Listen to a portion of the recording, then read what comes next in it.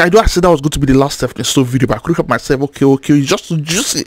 So many stories. Like, I, love gossip. I can't. I can't. Song Joong-ki filed for divorce. Song Hye-kyo was out of the country for work, and she found out about her own divorce through the news. So she had to travel all the way back from a foreign country while the press were ready to sink their teeth And I'm waiting for you at the airport. And since he announced it first, He and didn't she was out of town, for some reason, everyone felt like it was her fault. Really? The first initial speculation was like she Wait, was I know her. wife. She didn't care. She was still focused Okay, on her I career. watch She only K-pop movies a lot, so her you- love. you There could have figured out by- now, right? Joong-ki's So- dad had always supported them. Like he basically made a shrine in his apartment for them, like his house for them. What it was just pictures of Cheating? them from Descendants of the Sun. That's like, he had, like, something, that'd be banners outside cheating. of his home. That's and allegedly, cheating. according to his That's neighbors, one day after the announcement, From someone. everything was in the trash. So That's that cheating. fueled rumors That's that. Hye-kyo did something to piss off not just Song Joong-ki, but also his parents. And then everyone got a lawsuit. Media outlets, Bam. Korean bloggers, Bam. YouTubers, You- random netizens. you didn't get one, right? Defamation laws I don't in think she got one. Korea are probably one of the strictest ones.